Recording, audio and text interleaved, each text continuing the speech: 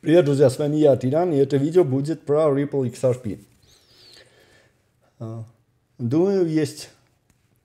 Нужно периодически делать видео про XRP, потому что я не только являюсь одним из людей, которые 6 лет назад инвестировали в XRP, но и до сих пор, когда меня спрашивают про мой портфель или какую технологию инвестировать, я говорю, у меня до сих пор на первом месте в портфеле XRP.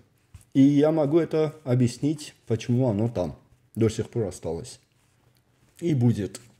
Я не представляю пока что, я не вижу ни одного проекта, который настолько бы э, гарантировало, в, в котором настолько бы была нужда. И я могу это формулировать. И я, я... И я, того же мнения. И я попробую в этом видео еще через несколько а, сторон объяснить почему. Мы должны понимать, что во всех этих технологиях есть ранг, ранговая система. Я скажу это так. На первом ранге это леджеры, потому что структура леджера позволяет, чтобы на нем с помощью а, разных API, которые предлагает Ledger, строить разные специфические блокчейны. Объясню другими словами. Блокчейн не может быть леджером, а леджер может быть любым блокчейном, который нужно для какой-то специфической решения направлений. Поэтому блокчейн стой, стоит ниже ступени, чем Ledger. Ledger, который работает на самых простых формулах и который может быть децентрализованно масштабировано, его децентрализованность может быть масштабирована, не влияя на работу, быстроту работы, XRP Ledger это обеспечивает. Ledger, который может быть использован для любых специфических решений, для построения любого блокчейна, который тебе а, нужно будет, разработчику нужно будет. И который тоже будет иметь ту же быстроту и децентрализованность на уровне Ledger. Это есть. Это тоже Ledger, на котором можно построить блокчейн и на котором построить DApp, который тоже будет иметь, то есть рангом ниже, еще рангом ниже, который тоже будет иметь ту же быстроту и децентрализованность рангом выше блокчейна, который имеет тот же, что и сам Ledger. Без каких-то, без каких-либо Layer 2 или ZK роллапов или же вообще сторонных полигон или других таких которые серьезно смотрятся для обеспечивания быстроты, например, сети эфириума. Но смотрится смешно, когда мы говорим, что Ledger нуждается в таких а, решениях, чтобы оно просто работало, делало то, что должно делать. Иметь децентрализацию, иметь быстроту, иметь гарантию. То есть DApp, блокчейн, все это можно построить на... И это все будет иметь то же качество, базовые качества, быстрота, гарантия, безопасность, что и Ledger. XRP Ledger а, с самого начала было построено на этом направлении, и оно себя оправдывает в течение вот всех этих лет. Оправдывает настолько, тут очень важно, все это оправдывает настолько, что компания Ripple – решилась использовать внутренний транспорт в Ledger. XRP это просто транспорт в Ledger, который передвигает информацию. Решили использовать этот транспорт для того, чтобы оно передвигало деньги. Когда мы говорим про использование блокчейнов для трансфера информации, сохранения и трансфера. В реальности это немного другое, чем блокчейн, который настолько гарантирован, настолько быстр и децентрализован, что оно можно, внутренний токен, coin точнее, можно использовать для трансфера денег. Сейчас, когда мы, будет правильно сказать, играем с токенами, неважно, это эфириум или матик или любой другой, мы в реальности а, любой большое финансовое учреждение или банк, а, с его стороны это просто игра. Люди там играют. Потому что для него поставить миллиарды долларов, все свои миллионы транзакций на какой-то блокчейн, это несравнимо с серьезностью того, что мы делаем. Если я отправляю тебе деньги в эфириум или в XRP, неважно. То, что я делаю, мы делаем, это несравнимо с теми гарантиями, что хочет вот это финансовое учреждение. И компания Ripple настолько уверена в работоспособности Ledger, что с первого дня предлагает использовать XRP, транспорт Ledger сети, в качестве транспорта средств. То есть плюс XRP само может являться деньгами, на которую можно сконвертировать ту или иную валюту, отправить с одной точки в другую точку, потом сконвертировать на другую валюту. Тут очень важно, чтобы понимали, что для этого компания Ripple настолько должна быть уверена, что вот этот транспорт нигде не остановится, никто ничего там не изменит.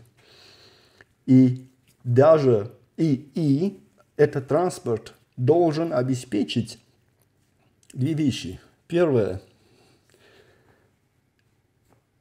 В прямом смысле миллиарды транзакций, микротранзакций без проблем должно происходить. Плюс, наверное, десятки тысяч или сотни тысяч больших транзакций и несколько тысяч или сотен очень больших до скажем, несколько сотен миллиардов долларов, в то же время должно происходить с этими миллиардами микротранзакциями. И все это сеть должна полностью обеспечить. Ни разу не должна вот сеть сказать, у меня не получается. Ledger дает эту возможность. Построение визуализации этой возможности, этих масштабов, масштабов и мощностей можно следить за ODL. Нельзя вот, хотеть или э, представить, даже нельзя представить реальность в этом. Нельзя представить себе и говорить себе, я хочу, чтобы ODL сразу же бомбанул и несколько миллиардов сразу. Я хочу завтра за... видеть, что в ОДЛ несколько сотен миллиардов, и они каждый день или минуту отправляются туда-сюда.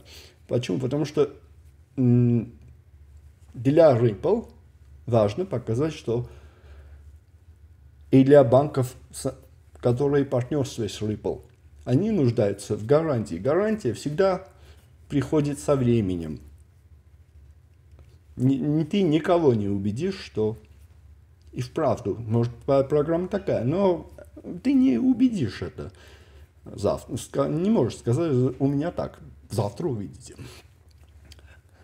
Поэтому годы, хотим мы этого или не хотим, эти годы мы видим, как ODL растет. Рост ODL говорит исключительно об одном, что все, кто думают о партнерстве, о поставке на удел, скажем, немного больше средств. Они все видят, что во все, все это время ни разу не было, чтобы какой-то трансфер не дошел от пункта А до пункта Б. Как инвестор в XRP, единственное, зачем, над чем я слежу, следил и слежу. Принципе, вот дело мое немного стало э, неинтересным. Да, потому что было время, когда я следил за каждым тестом, неважно, это топ-панк. Я, у меня есть видео, оно закрытое, но там почти каждый топ-панк есть тест на XRP и, результаты тест, тестов. То есть, неважно, это топ-банк с несколько, до триллиона, до двух триллионов капитализации, или же маленький банк.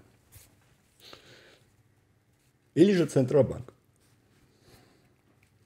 Было время, когда они проходили тесты, потом я ждал депортов, смотрел депорты, и не было одного репорта, в котором XRP Ledger функционально не мог обеспечивать гарантию, в первую очередь гарантию перевода. Для меня очень интересным репортом был и останется репорт от Банка Англии. Потому что это один из тех банков, который, если правильно помню, 600 миллиардов долларов поставлен на RTGS. То есть каждый день 600 миллиардов долларов.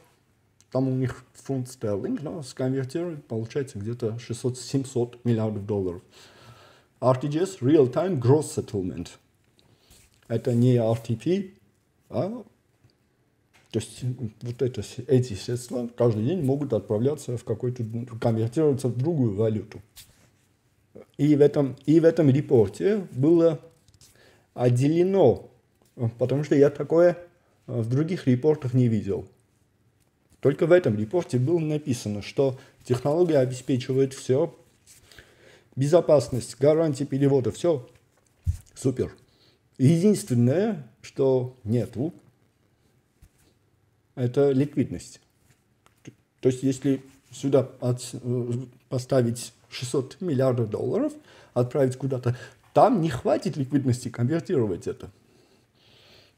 Что это говорит? Что единственное, над чем нужно работать Ripple, поднять ликвидность. ODL. Поднять ликвидность.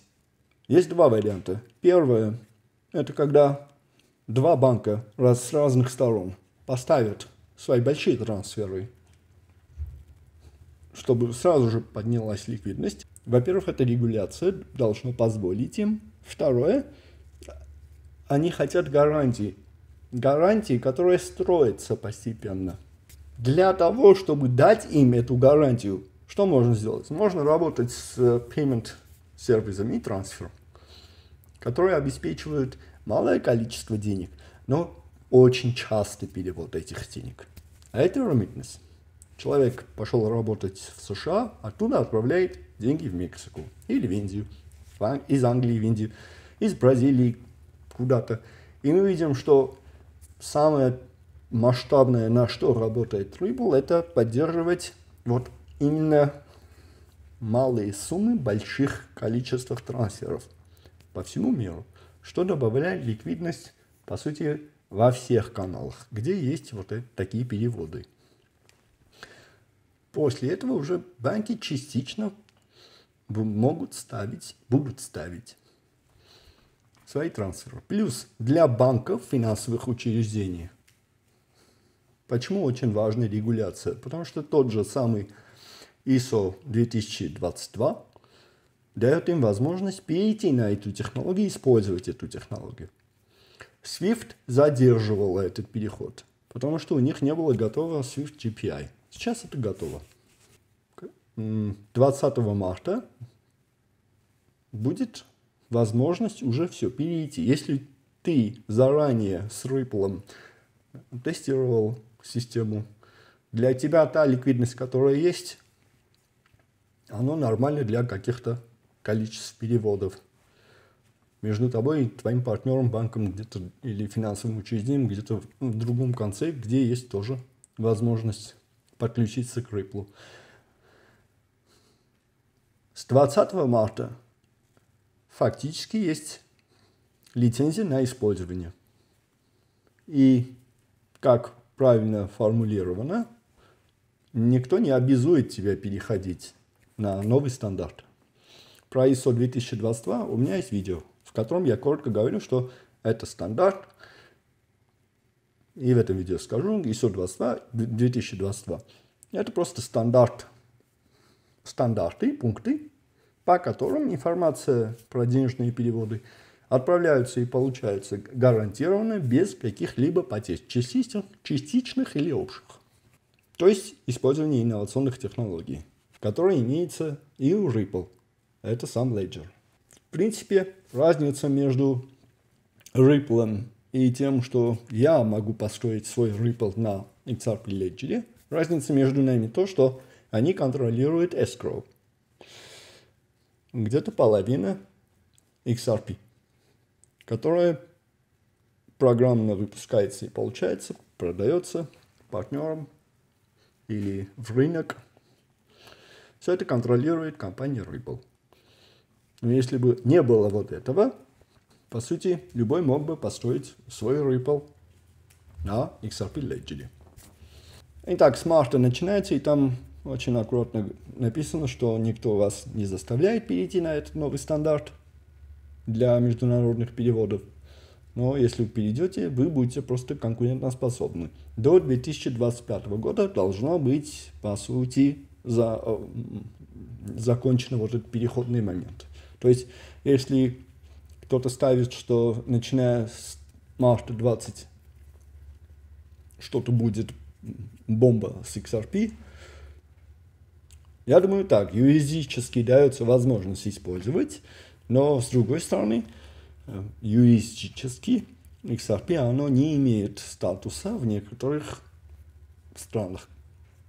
Конкретно что это? Ну, в Америке мы знаем вот этот судебный смехотронный, смехотронный, смех, это слово, судебный процесс, в котором видео, в котором я говорил, что э, все это делается с целью. Э, спонсор всего этого это Эфириум Алис. Далее, если будь, будем более конкретны, это JP Morgan – в первую очередь, потому что JP Morgan первый, кто теряет огромное количество средств из международных переводов, если нету интермедиа или же а, та банковская система сейчас, beneficiary, потом intermedia банк, вот, все это, каждый имеет комиссии, поскольку в основных в большинстве 10 тысяч примерно аккаунтов только у JP Morgan, то есть все комиссии 10, от 10 тысяч таких банков берется, в итоге забирается JP Morgan. То есть переход на технологию, в котором напрямую тут отправил сеть, нету никого, чтобы в долю комиссии вошла, а там получил кто-то, а тут теряется огромное количество средств JP Morgan. И они для этого построили свой кворум.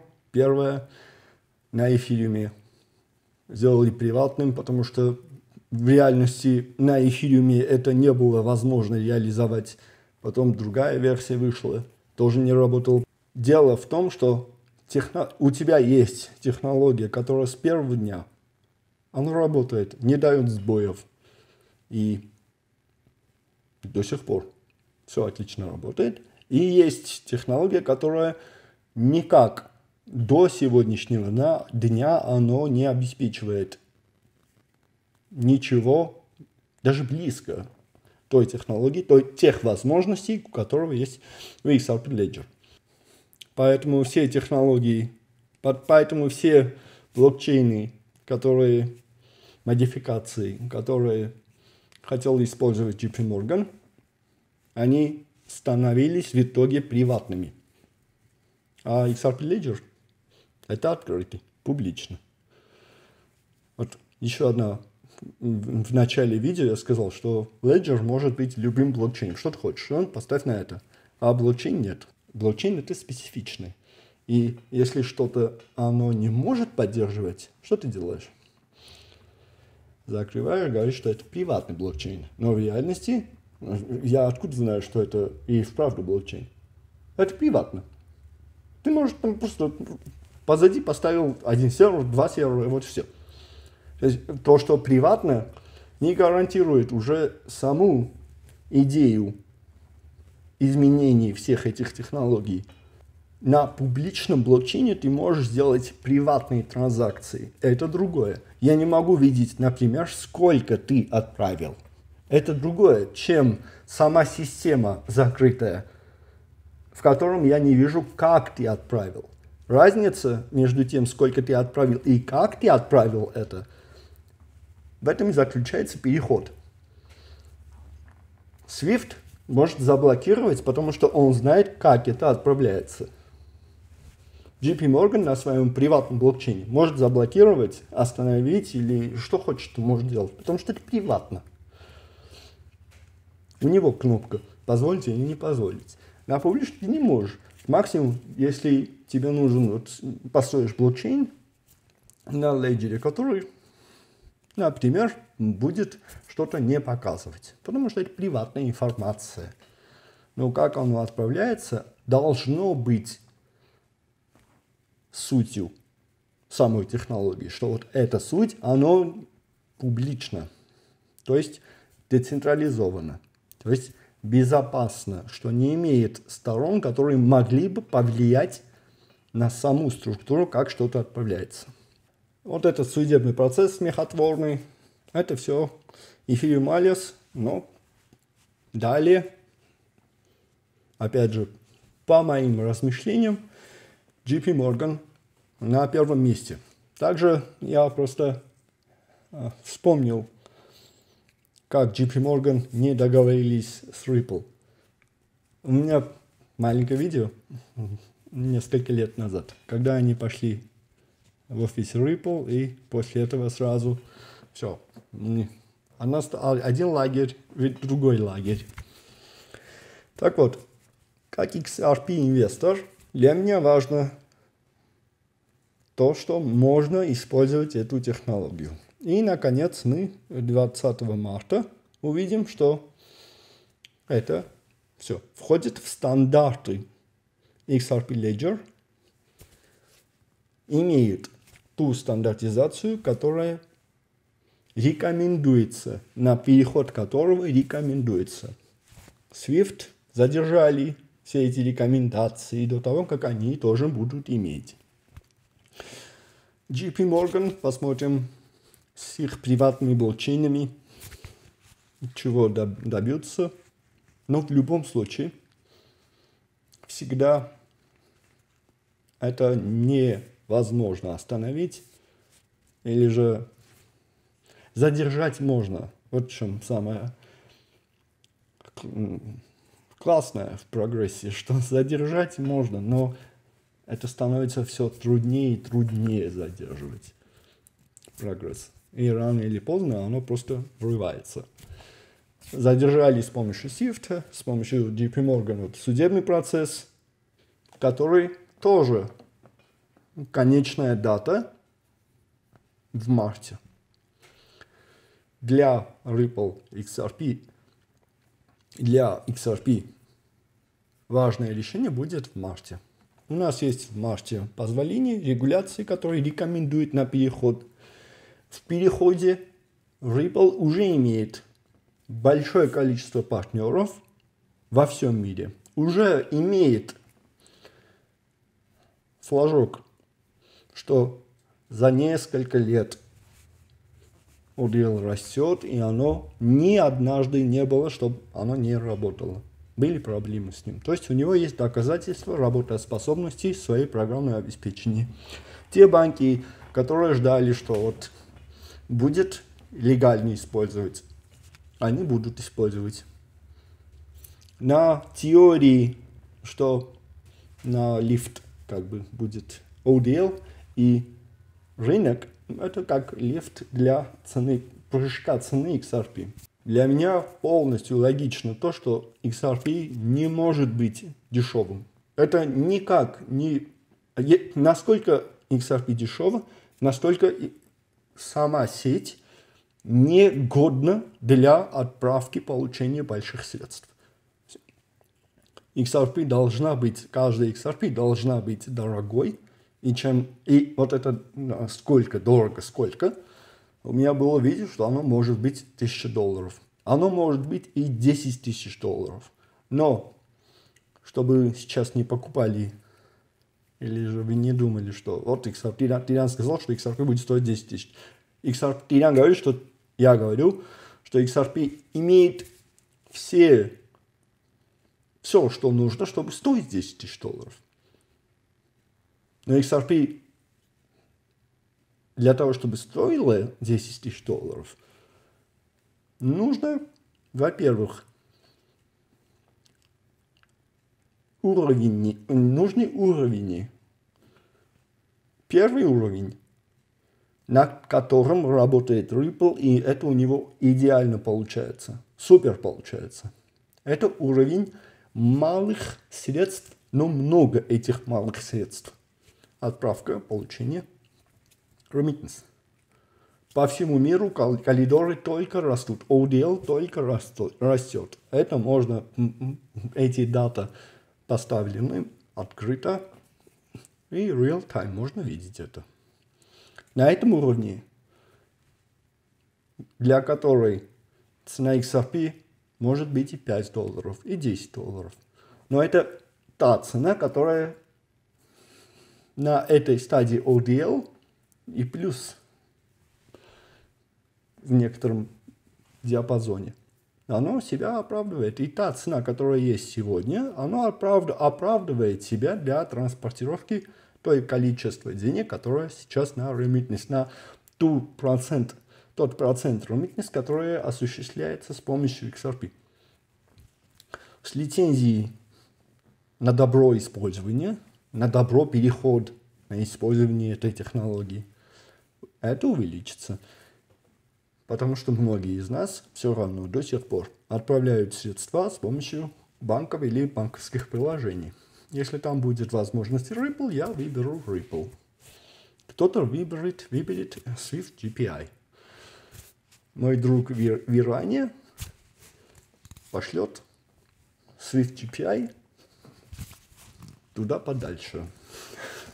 Будет использовать Ripple, с которой он мой дизайнер. Или в Америке. Тоже мой друг Айдин Давуди, он композитор, ну, феноменальный человек. Ну, с феноменальным голосом и с умом. Я, кстати, всегда, если э, от, открыто скажу, для меня мечта понять, как такие мелодии, как у Black Sabbath, Фил Коллинз, Pink Floyd – для меня мечта, чтобы мой ум один день, хотя бы до того, как я умер, хоть минуту смог, соз... на... смог создать вот такие мелодии, хотя бы длительностью на минуту, потому что я, я отвлекаюсь от темы, но для меня самое загадочное вот умы тех людей – ну, тот же Бетховен в классике или Моцарт, или Бог. Как, что, как у них это работает? что они могут создать? Вот, как они это видят в уме? Это одна из моих самых печальных, наверное, последние 10 лет. Я мечтаю, чтобы в, в, в моем уме хотя бы одна мелодия близко к тем глубинным сильным, фантастическим просто. Для меня правильно будет формулировать так. Если формулирую так, все, все музыки, все, абсолютно все, они есть. Композитор тот человек, который имеет доступ к этому архиву, у него мозг подключается к этой базе, и он оттуда что-то вынимает. Да. Мечта, наверное, сбудется или нет, но моя мечта это, чтобы а, я мог понять, как они подключаются к этой базе. Вернусь. Так, первая ступень для Ripple есть, оно работает над этим. И цена XRP должна быть в диапазоне, где оно обеспечивает массовые миллиарды переводы маленьких средств. Это дает рост удел коридорам, ликвид, добавляя ликвидность во всех коридорах. Далее, цена XRP должна соответствовать тому диапазону, в котором банковские уже немного большие и по количеству немного меньше. Наверное, корпоративные переводы.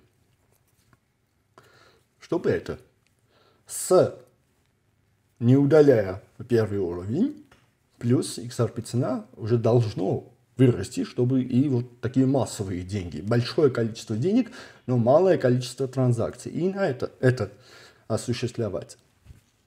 Далее тот уровень, в котором уже большие денежные переводы, несколько миллиардов долларов или десятки, сотен миллиардов долларов, как, например, RTGS Банк Англии – и для этого XRP стоит, должно стоить в том диапазоне, где оно и это, с учетом того, что и другие уровни, все это можно отправить туда-сюда.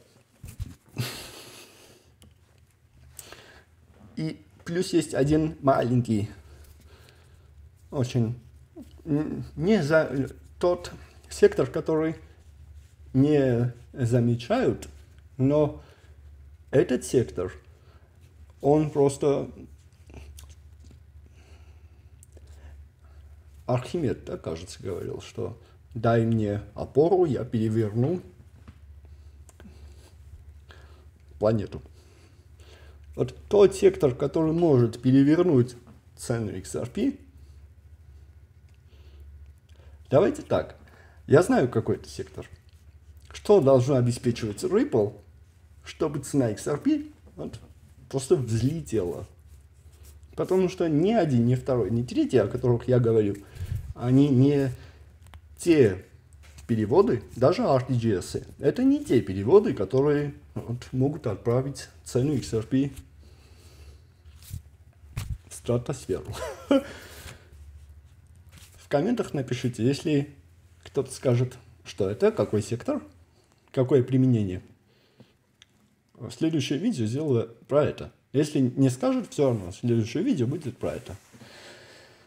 Так вот, в марте будет позволение использовать, в марте окончание судебного процесса,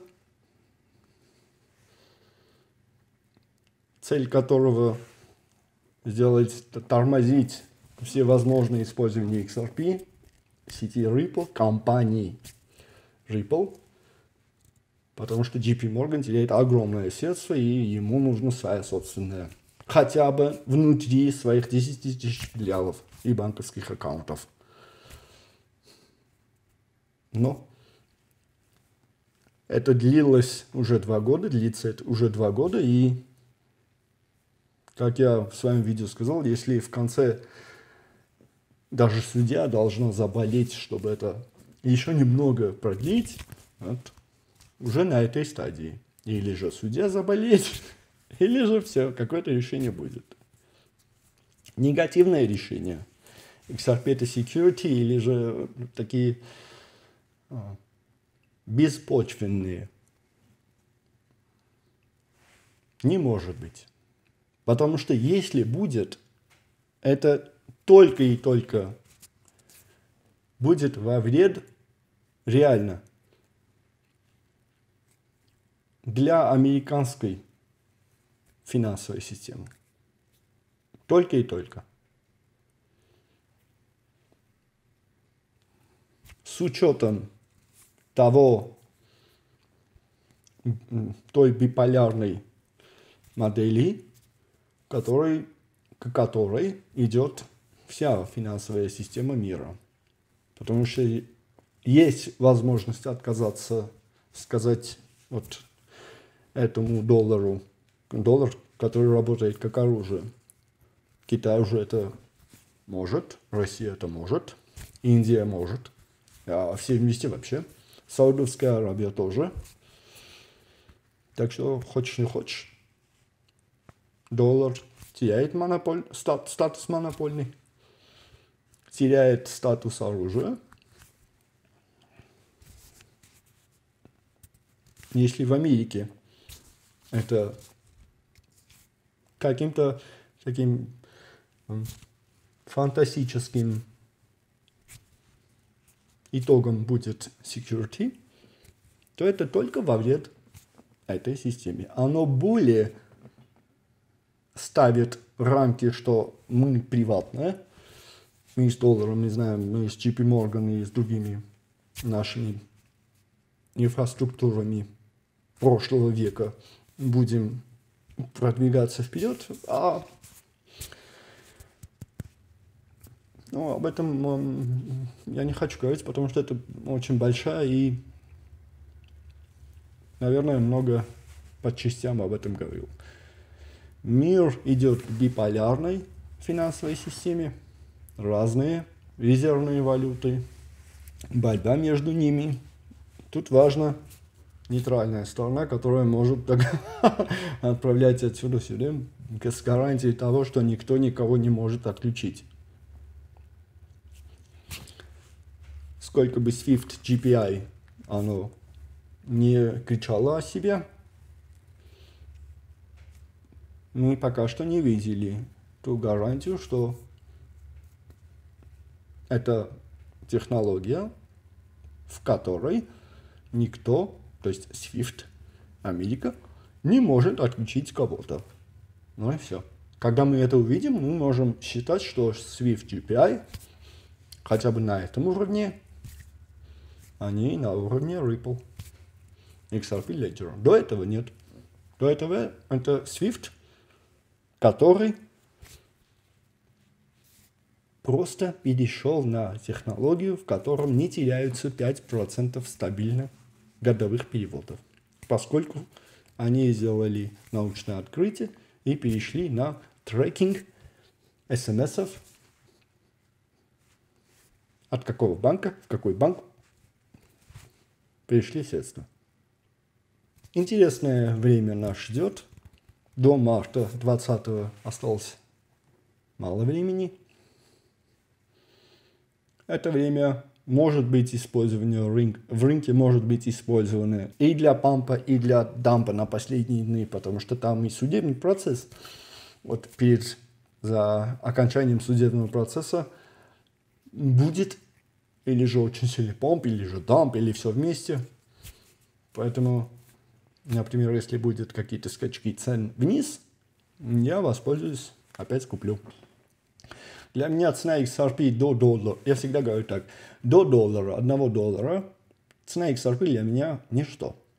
По сравнению с той технологией, которая все эти годы показывает, что оно работает. Оно работоспособно. На всех уровнях показывает. Хочешь построить блокчейн, пожалуйста. Хочешь, да, пожалуйста. Все это на качестве леджера, да.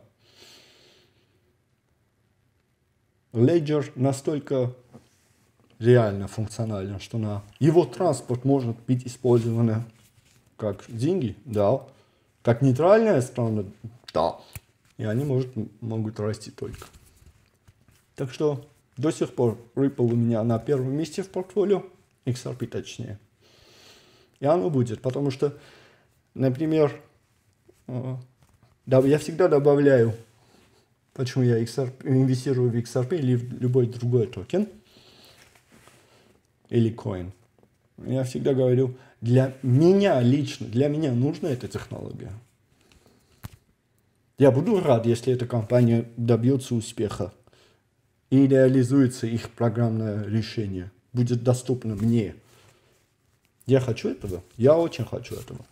Поэтому, поскольку оно нужно мне, поскольку оно по качеству просто на первом ранге, есть где-то 8 лет или больше, который факт, показывающий, что эта технология работает. Есть. Не было ни одной ошибки, есть. Все. Так что интересные времена, времена в марте ждут нас. Еще в конце нужно добавить то, что э, те платформы, которые дают возможность строить на них даты, ну, мы говорим про XRP Ledger, будем говорить про э, финансовые разные приложения. Получение каких-то токенов, конвертирование, хранение, залог, займ, инвестиции, кроме международных переводов.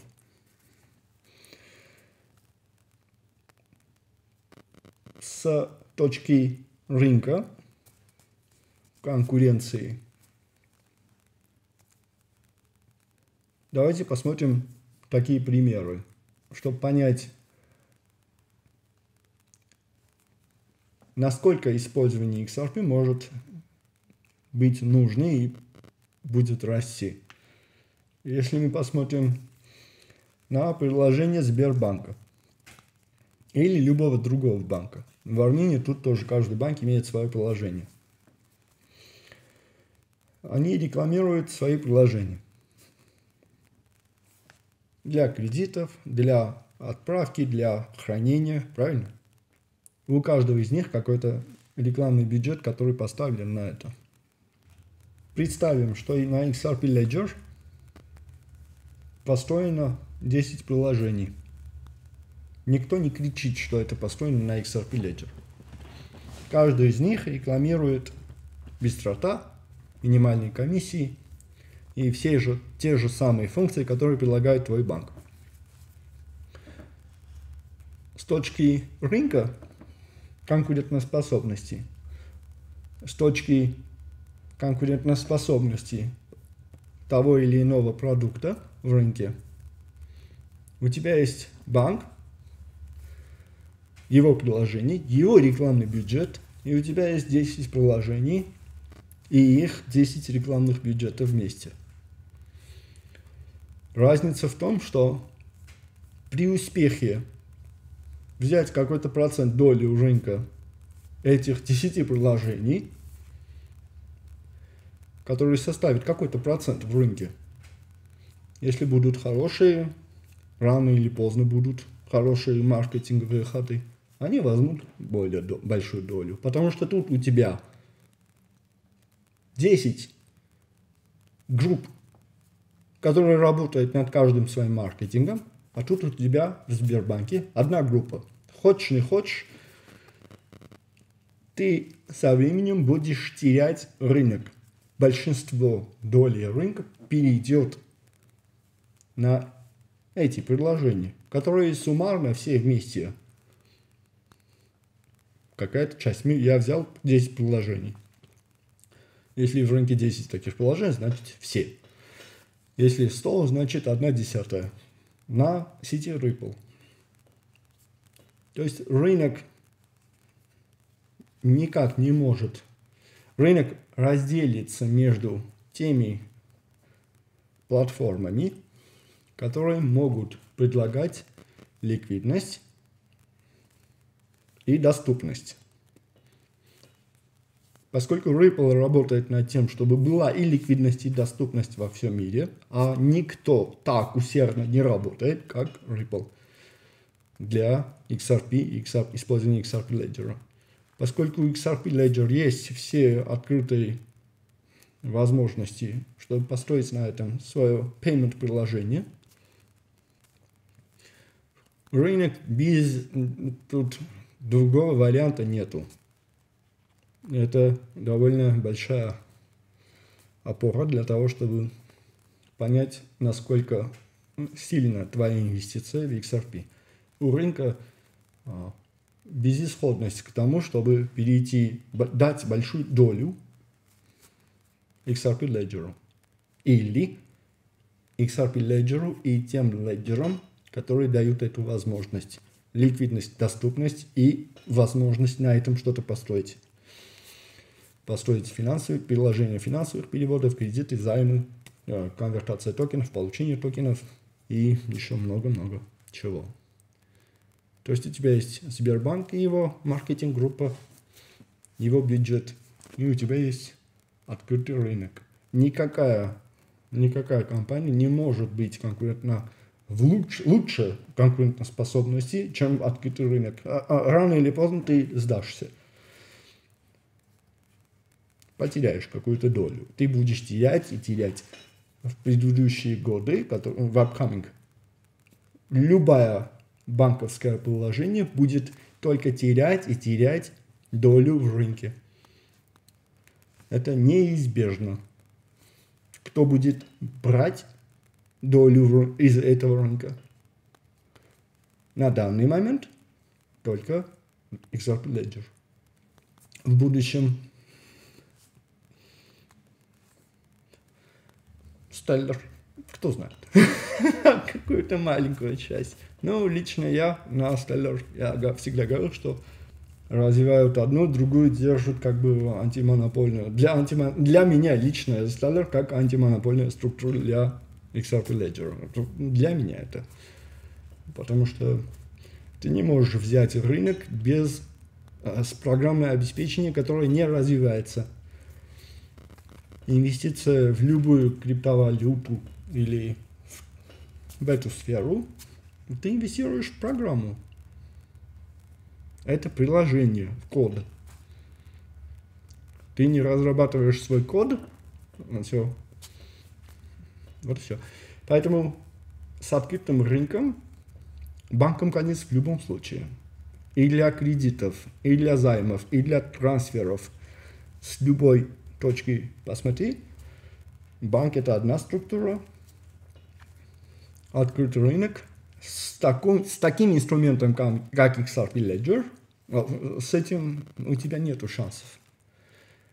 И поэтому до сих пор я инвестирую в Ripple, и Ripple для меня на первом месте в моем портфолио. И я всегда, и я всегда, когда говорю про инвестиции, я всегда подчеркиваю весь потенциал XRP Ledger и монеты XRP с точки зрения инвестиций. Спасибо большое. Увидимся.